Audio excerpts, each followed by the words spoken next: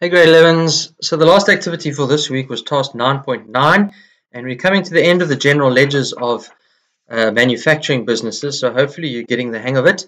Um, we're just going to revise and keep practicing um, in the next week probably. Uh, but task 9.9 was a different sort of task in that they gave you the general ledgers and they just had a whole bunch of question marks. Okay, so it relies a lot about, uh, about looking at another ledger account to find a, a missing figure Contra accounts are also very important because it's it points to where else a figure might be. So we're going to go through this task. It's it's a bit of a tricky task to just dive into, so we're just going to do our best to to fill in the question marks as we go. Okay, so all my answers are in already and they are highlighted in yellow. Yellows are the ones that were missing. So I'm just going to go re-highlight them in green to show that we've covered them and, and gone over them. Okay, so it says that Fairbreeze manufacturers, we're on page 398, produces lawnmowers that they sell to various retailers at a markup of 50%. Their financial year ends at the end of June every year. Study the following information, um, incomplete information found in the ledger, and the additional information. Thereafter, fill in the missing details and amounts. So let's just have a look. Raw material stock is given.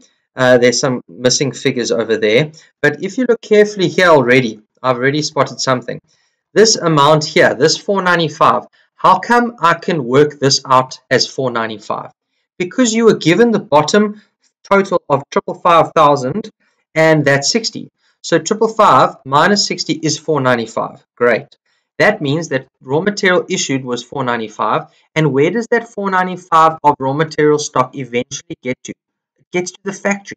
So it goes to work in progress stock account. So there's 495 and you'll see it appear here, direct material cost 495, there it is. Okay, so we're already uh, winning almost here. If that 555 was on the credit side, then there is also triple five thousand. Okay, so the only missing figure on the debit side of raw material is the opening balance, which must have been 120,000 because I've just worked backwards to find the balancing figure. On the credit side, we had balance carry down of 60, so then it must be balance brought down of 60 at the start of the next year. Okay, so raw material stock is actually done. We just finished and, and, and filled in the missing figures by looking at balancing figures and totals. Okay, looking at work in progress, there was some stuff missing. This 531 general journal and this contra account was missing. Factory overhead cost. Uh, happy. These one, two, three, four lines are always the same four lines on the debit side of work in progress. Okay. Also, we could work this 150 out because we knew the total of 1236,000 was given to us. We've worked out 495, so this direct labor cost must be 150,000. Okay, and that 150,000 there, direct labor cost, also has come from direct Labor cost, there it is. We had salaries and wages on the debit side of 150. Work in progress um, was missing. That word was missing. And 150,000. Okay.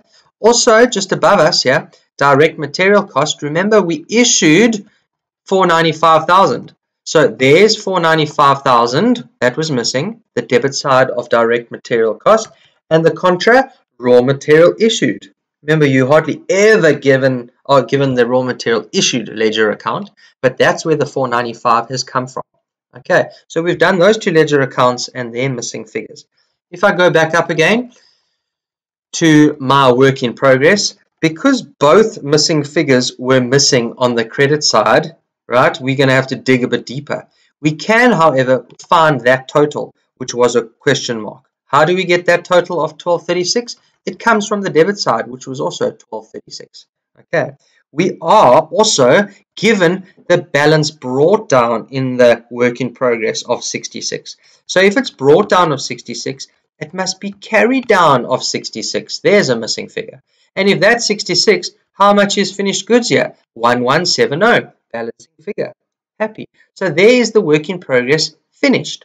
That 1170, which I've just highlighted in green, goes to the finished goods account, which is there, 1170,000. Happy was also a missing figure. Also, from the credit side of finished goods, we know the total, 1350. which I can put on the debit side of finished goods 1350. Which means what? Our opening balance, balance brought down, was the only other missing figure on the debit side of finished goods must have been 180,000. The balance brought down for the start of the next year will be 165,000, which is simply the carry down brought down. Happy. So that finished good is done as well. Okay, let's just go to the top. Let's make sure we've got everything. Raw material stock all finished. Work in progress all finished. Finished goods all finished. Direct material cost done. Direct labor cost done. And now we're here with factory overhead cost. Okay, let's look carefully here. When it said factory overheads, there's a whole bunch of missing figures. Okay, the yellows. We do know, however, that this is going to be work in progress. Okay, always it's sent to work in progress. Also, if the total of the debit side was given as 531, I can put that total there as well, and that total there as well. And if I had gone back up to my work in progress, we could also have found that 531 there. Okay, so it's speaking to each other. They are contra accounts. Then, in terms of the additional information, that's going to help us find these last three yellows. Consumable stores on hand on the end of June was valued at 9,000 Rand. An amount of 36,000 was spent on consumable stores during the year. There was no opening stock of consumable stores. Okay, so for how, how much consumable stores must we have used this year in the factory? Not 36. Why not 36?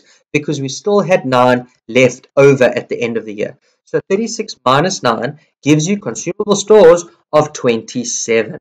Okay, I've noticed I don't have journals here, but obviously they'd all be general journals. But don't stress, it's not super duper important.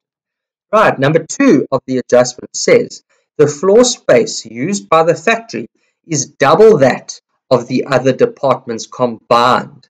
The total rent for the building amounted to 270,000 and rent is allocated as per floor space used. Okay, so we have to somehow pull out these last two figures. Okay, now how are we going to do that?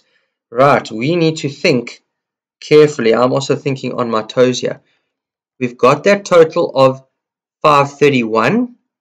Rent over there is double.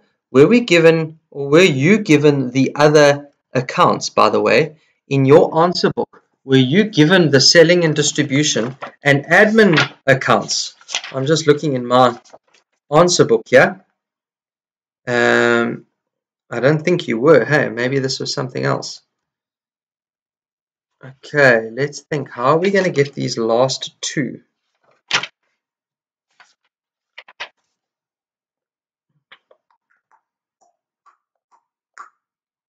Right, I'm also just thinking on my toes here, guys.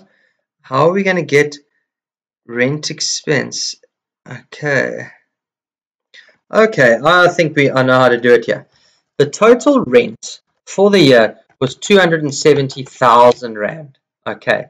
If you're going to split it up in the ratio 2, okay, what did it say? The floor space used by the building, by the factory, is double that of the other departments combined.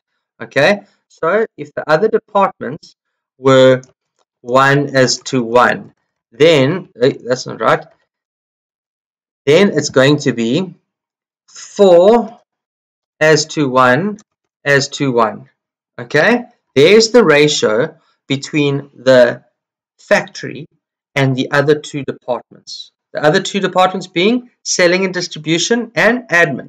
So the ratio that you're going to split this 270 between is 4 out of 6. 1 out of 6. 1 out of 6. So 270, the total rent, times 4 out of 6, because that's the, the ratio that we've got here, is going to give us the value for the rent for the factory. Let's have a look. 270,000 times 4 over 6 is going to give you 180,000. That's how we got that one over there.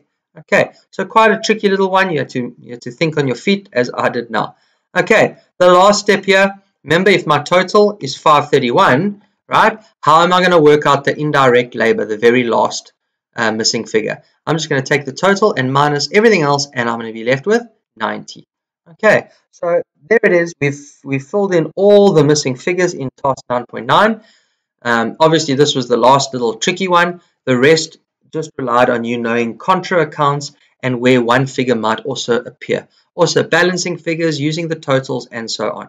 Okay, so that's 9.9. That's the last task for this week. Um, enjoy your weekend, and we will be in touch again next week.